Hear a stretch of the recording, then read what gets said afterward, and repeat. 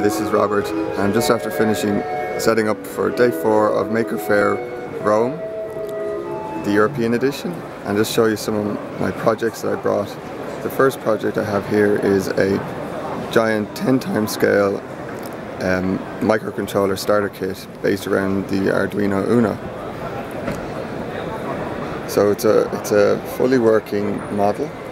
Uh, this, this project has a, an Arduino in the back and I also have a breadboard, potentiometer, um, LEDs, resistors, light dependent resistor. The, the, frequency of flashing will change if I cover the, the light dependent resistor or if I change the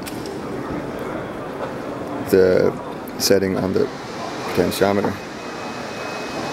I also have a number of LED projects um, my 32 by 40 pixel LED display, some shamrocks and some hearts, and um, a, new, a new um, LED display that I'm working on. And I have some of my I Can Solder badges. I'm just showing them off. We're not teaching soldering today.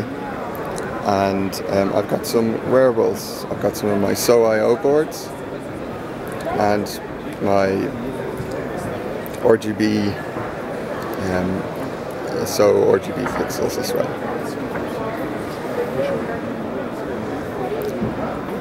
Thanks.